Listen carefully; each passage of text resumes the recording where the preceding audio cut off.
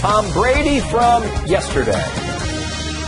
I like him at the way that I like him, which is at 12.5. I mean, to me, that's a perfect grip for the football. I did not feel a difference between the first half and the second half when supposedly they were inflated to the, uh, you know, original, even more inflated. I didn't notice any difference. I, uh, you know, I didn't obviously think there was anything different between halves. So Tom Brady uh, taking the hits from reporters for nearly an hour, but insisting he knew and noticed nothing.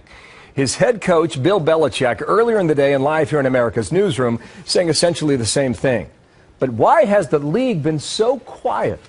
Sportscaster and Fox News contributor Jim Gray with me now out of L.A. And Jim, good morning to you. Uh, he stood morning, there, Bill. as I mentioned, for almost an hour. What did you think? Do you believe Brady or not? Yes, I did. Uh, I do believe what Tom Brady had to say yesterday. Uh, he's been an upstanding character. His pursuit of excellence and dedication, his work ethic, and I don't think that there's any reason in the world why he would come out there and lie. Why would he risk everything to tell a story that he says he doesn't know? So yes, I do believe Tom Brady. What I find fascinating developing, Jim, and I'll, I'll get to the league in a moment here, is that you can see these NFL players almost dividing themselves in two different camps, whether they support uh, the explanation or not. And, and I thought watching ESPN and seeing the reaction from a former NFL quarterback by the name of Mark Brunell, spent most of his time for Jacksonville, the Jaguars in Florida. Um, he was asked whether or not he believed Brady. And immediately afterwards, this is how he responded. I did not believe what Tom had to say. Those balls were deflated. Somebody had to do it. Um, and I don't believe there's an equipment manager in the NFL that would, on his own initiative, deflate a ball without the starting quarterback's approval. Um, I- just, I just didn't believe what Tom Brady had to say. He, he was clearly emotional, too, when he answered that. So you got people like Brunell and Troy Aikman are saying they don't believe it. In the meantime, you got people like Joe Theismann and Boomer Esiason saying this is no big deal. Now, what is it? Well, I think we have to know all the facts. So let's deal with what we know. D'Qwell Jackson has come out. He was the man who intercepted the ball from Tom Brady, turned it over to the equipment manager. But it turns out that that had already been taken out of play, that the Patriots had been playing with balls that were fully inflated earlier in the half than we had known. We had thought that it had happened at halftime.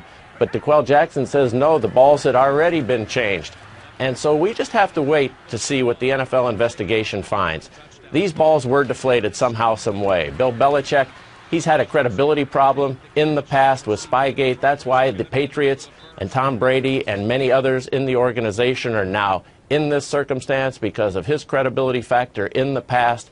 But I believe Belichick too. I don't believe that Bill Belichick told anybody on his staff or the trainers or anybody to go doctor football. So Mm. I take him at his word in this instance, and I don't believe that he would lie. Okay, I also don't believe that Tom Brady told anybody to do it. So let- let's move somebody to did the- it somewhere, and we're going to have to wait and find out. Right, but let's move to the league and the NFL. They're nine days away from the biggest moment all year, the Super Bowl in Arizona. Now, Brady said the NFL didn't talk to him. I think a lot of people kind of said, why, why, why would that be?